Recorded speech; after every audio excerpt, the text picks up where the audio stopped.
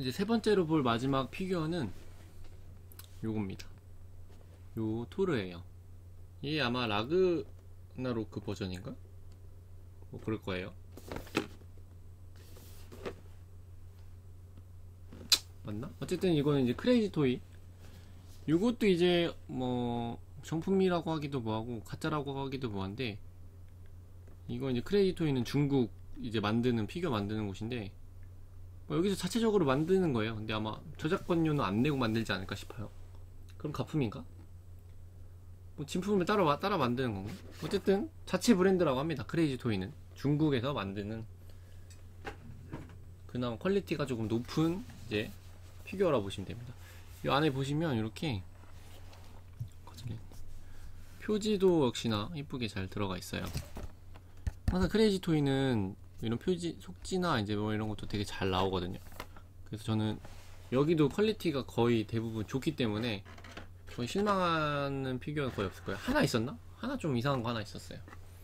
이렇게 열면 이런 식으로 이제 들어 있습니다. 이거 늘 말씀드리지만 뾱뾱이로 감싸져 있는 것도 있고요. 그냥 오는 경우도 있고 그냥 비닐 팩 안에 들어가 있는 경우도 있습니다. 짜잔 본체. 본체가 얘가 좀 커요. 되게 커요. 이게 30cm인가? 뭐 그럴 거예요. 거치대 한번 꺼내보고. 그리고 얘는 거치대 연결하기가 되게 쉽습니다. 이런 게 또 편리한 것 같아요. 그냥 이게 꽂아주면 돼요. 꽂아주고. 응? 이건 뭐야?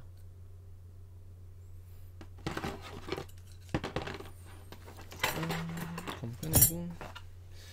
이거는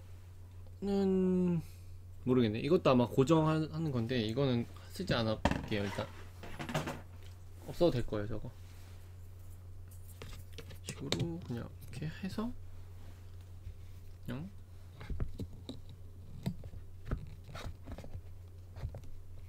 이렇게 이런 식으로 그냥 세우 그냥 대기만 하면 돼서 거치하기 거치대 되게 편하게 잘 나왔어요. 뭐 일단 망토 일단 이거 제껴두고 해주면 얘는 좀 망토가 독특하게 나왔어요. 뒤에 보면 이런 식으로 이게 반절만 이렇게 거- 걸쳐져 있어요. 불량 아니고 정상입니다. 이게 이게 이런 식으로 이렇게 붙어 있어요. 그리고 이게 이제 전체적인 거는 스태츄라고 보시면 되는데 이제 요 손목이랑 간단한 손목이랑 얼굴은 좀 자유자재로 되게 잘 돌아가는 편이에요. 손은 아마 검 때문에 움직일 수 있게 해놓은 것 같은데. 어 아니네. 이 손도 안 움직이네. 음. 손은 움직이는 거 많은 거야? 움직이는 거 같은데 조금 손게좀 이상해요.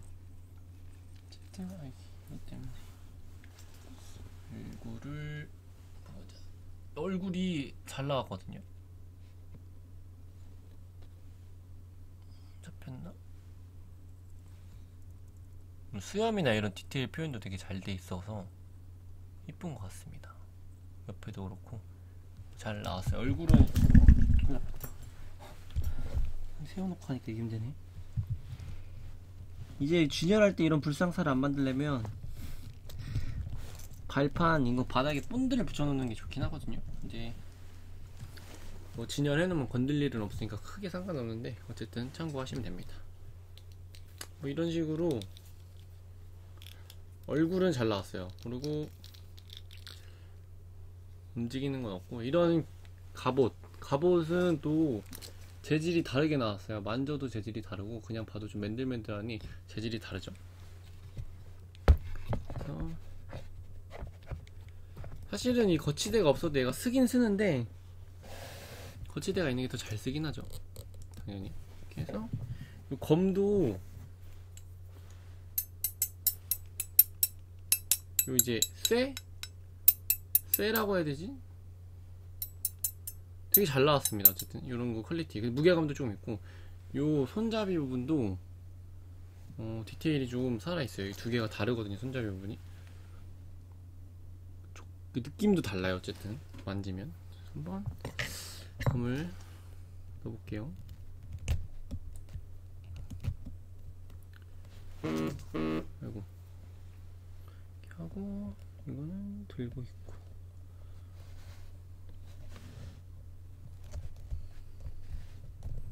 어, 이런 식으로 이제 검 두 개를 들고 있는 모습을 이렇게 주면 됩니다.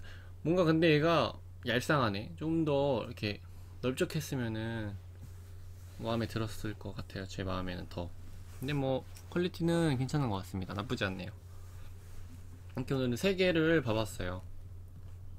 음, 제일 마음에 드는 건 저는 이게 제일 마음에 드네요. 토르는 뭔가 이게 비율이 좀 아쉽고 뭐 하스스톤 요거는 이제 임팩트가 그렇게 크진 않은데 선물용으로 되게 좋은 것 같습니다.